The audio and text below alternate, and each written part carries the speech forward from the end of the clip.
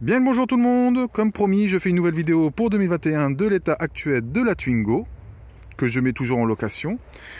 Donc euh, l'état actuel ben, elle est toujours aussi parfaite, elle est toujours aussi nickel. Bon il y a peut-être deux ou trois petits éclats maintenant sur le pare-choc avant. Je sais qu'il y a eu un coup de portière ici, je ne sais plus où est-ce peut le voir, voilà ici.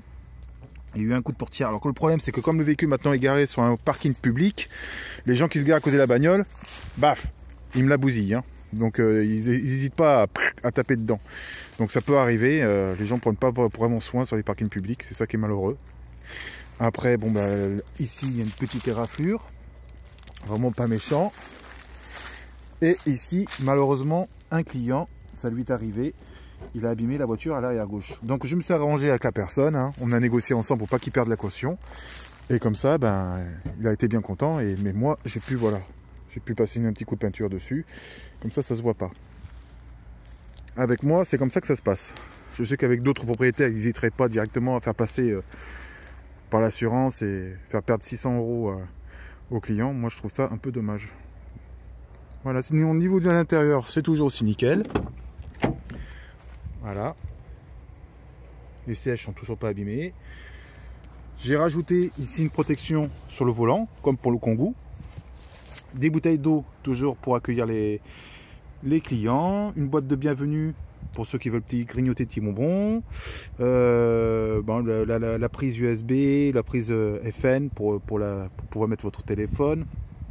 Il faut savoir quand même qu'il fait Bluetooth le téléphone, donc euh, vous pouvez passer directement par ça, mais vous pouvez passer directement par le, poste.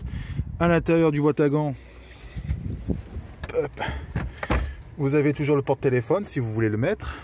Vous avez euh, le disque, les italo-tests, le cap téléphone, la raclette pour l'hiver. Ici une brosse pour nettoyer le tapis. Ici des lingettes. Dans le siège arrière, sous le siège arrière, j'ai mis ici, j'ai rajouté, alors il est là, je sais pas si vous le voyez, il est ici. il est un peu tassé, mais il est ici. Le siège, c'est un coussin réhausseur pour le conducteur, un coussin grand confort.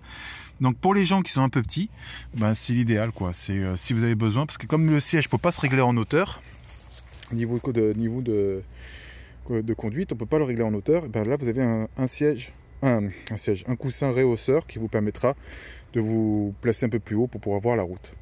Voilà, donc j'essaye de penser à tout. je ne suis pas encore parfait, mais bon, voilà.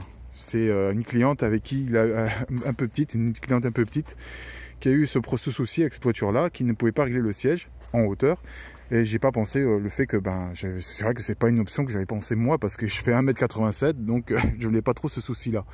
Mais voilà, j'essaie d'adapter le véhicule pour que ça puisse être conforme pour tout le monde. Voilà, sur ce, bah, je vous souhaite une très bonne journée et je vous dis à très bientôt. Au revoir